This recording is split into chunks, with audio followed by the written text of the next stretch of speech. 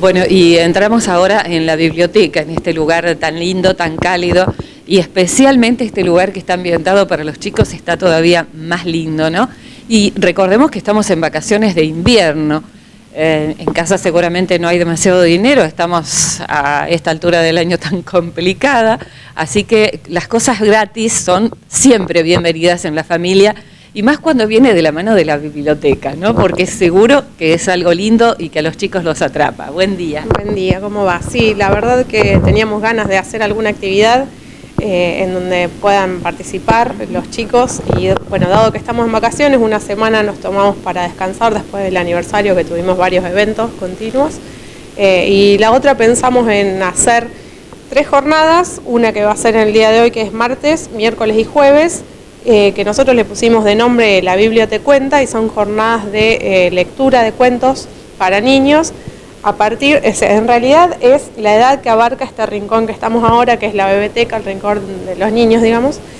A partir, eh, bueno, de los más chiquititos, que por ahí no saben leer todavía, pero bueno, vienen a escuchar los cuentos, hasta ya lectura juvenil, digamos, 12 años más o menos.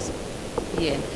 Sí, yo creo que, la edad, digamos, de los más chiquitos tiene que ver un poco con la decisión de los padres. Si uno ve que el chico mm, capta la atención, que se puede quedar quieto y escuchar y no molestar, ya es el tiempo de traerlo. No, seguro. Eh, bueno, este es un rincón que está continuamente eh, con chicos, no solamente los que ya sienten curiosidad y quieren empezar a leer, sino por el tema de las imágenes y también tenemos un sector que es lúdico, eh, en los que vienen por ahí a, jugar eh, y a investigar un poco el mundo de las imágenes y demás, entonces nos parecía que estaba bueno no solo darle, digamos, una oportunidad a los chicos para que puedan eh, venir a conectarse con la lectura desde otro lado, sino también una actividad para vacaciones de invierno, como decía vos, para que puedan aprovechar.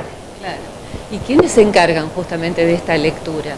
Bueno, vamos a tener a Griselda Centini, a Silvia Espina, eh, Nora Giglione, Estela Montechiari eh, y creo que no me estoy olvidando ninguna.